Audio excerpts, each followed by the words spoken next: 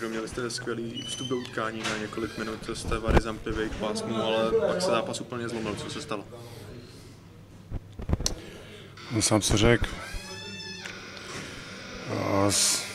Hráli chytře, proměnili z každý střely, vlastně dali gól, měli tři střely, tři góly, jo, což jo, řekl si sám, že jsme je tam zamkli, měli jsme, udělali jsme si přesilovky, no, dostali jsme gól ve vlastní, vlastní přesilovce, pak jsme znovu udělali chybu, jo, takže takový hokej, no, prostě jsme, jsme naivní školáci.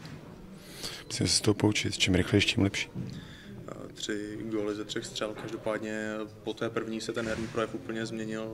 Co se, co se v týmu událo?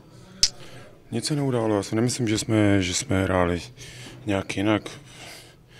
Bohužel z našeho tlaku jsme nedali góly a oni z jakýkoliv se dá říct příležitosti dali góla. Přeber si to, jak chceš, prostě taková je realita. Musíme na to zapomenout. A v neděli máme další zápas. Prohrávali jste opět branek, ale dokázali jste se vrátit eh, zpátky do zápasu. Je tohle alespoň pozitivum, které si z toho jde odnést? No, no tak to, že prohrát opět, opět gólů a ten, ta hra vypadá úplně jinak. To, to, znovu se budou opakovat prostě. Ta, taková je realita, prostě všechno nám tam padá. Není to jenom tři zápasy v posledních vlastně třech extraligových zápasech jsme to měli i, i, i v přípravě, jo, prostě, takže někde je, někde je chyba. Je, je ta chyba na straně golmanů, nebo je to spíš smůla? A to, to, jako samozřejmě jsme jeden, jsme jeden tým a, a, a tak to i bereme, jo. Prostě říkám, že, že prostě je někde je problém v naší obraně celkově útočníci, v obránci, brankáři. Prostě někde je obrovská chyba. Vy jste říkal, Kladno musí hlavně věřit eh, po třech zápasech jste bez bodů. Jak, jak jde teďka se myšlenkově nastavit? Ne, to, to... Tak samozřejmě nemůžu mluvit za ostatní. Já, já z, z mých zkušeností prostě vím, že, že, je, že je konec, dopravdy až je konec. Jo, takže s, já s tím nemám problém. A odepisovali nás minulý rok baráži po prvních dvou zápasech. My jsme vyhráli potom 7 z 8. Jo, takže. Ale samozřejmě to první vítězství bude asi to nejtěžší. Pro sebe vědomých hráčů a celého mužstva i podporu našich fanoušků. Na odlehčení dnes jste se stal historicky druhým nejstarším hráčem Extraligy. Jaký je to pocit? Tak já to, to víceméně neřeším. A a já pořád věřím, že, že střelu mám, takže když, když to tam dostanu a budu volný, tak, tak pár jich tam ještě dám, nebojte se. To jsme ostatně dneska viděli, každopádně první uh, ostrý zápas, uh, potom, potom zranění, jak se cítíte? A, tak já jsem skoro 14 dní nic ne, nedělal, jo. Jsem měl jeden, dva tréninky a, a jsem se cítil dobře, odehrál jsem vlastně skoro každý zápas v přípravě a, a pak, a pak jsem se zranil, takže jsem začínal, nebo začínám znovu od začátku, jo, ale to je tak, s tím, s tím člověk nic nenadělá, musí, musí, musí dál bojovat. Jo. Ale jako necítil jsem se nějak špatně. Jo, samozřejmě už nebudu jezdit náhodou dolů, ale, ale tu hru, na kterou jsem zvyklý, to, to si můžu hrát. Jardo, děkuju. Ať se to vypadá, že si docela rozumíte v tom prvním útoku, že dokážete soupeře tam v tom pásmu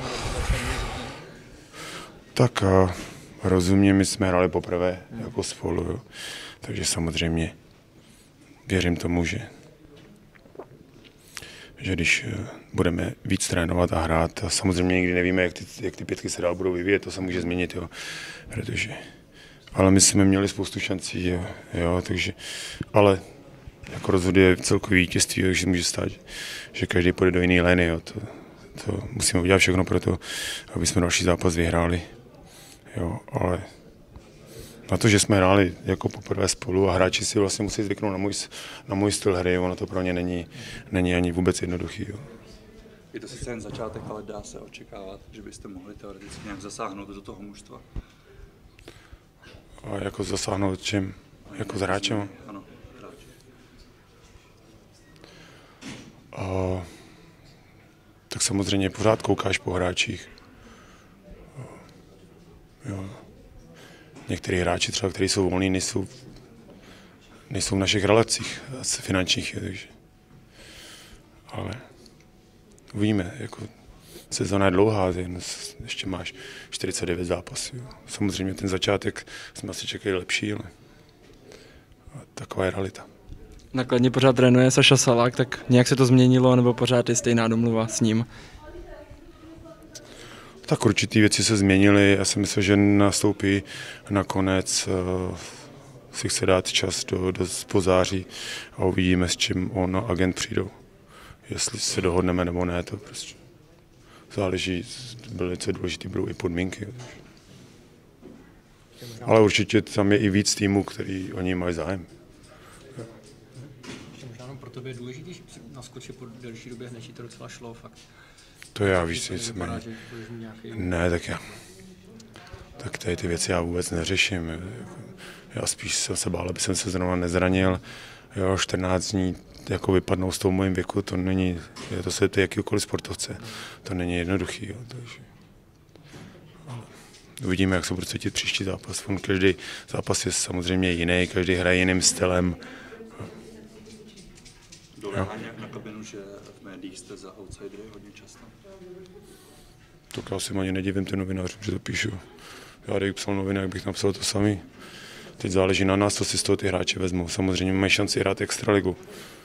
Jestli jim to stačí se tady ohrát na jeden rok, v pohodě. Je prostě to, co napíšou novináři, si myslím, že já s tím 100% souhlasím. Po té přípravě, co jsme měli, po těch, po těch třech zápasech, co máme. A záleží samozřejmě jenom na nás, jestli si to z toho vememe, jestli to vememe jako motivaci, nebo jestli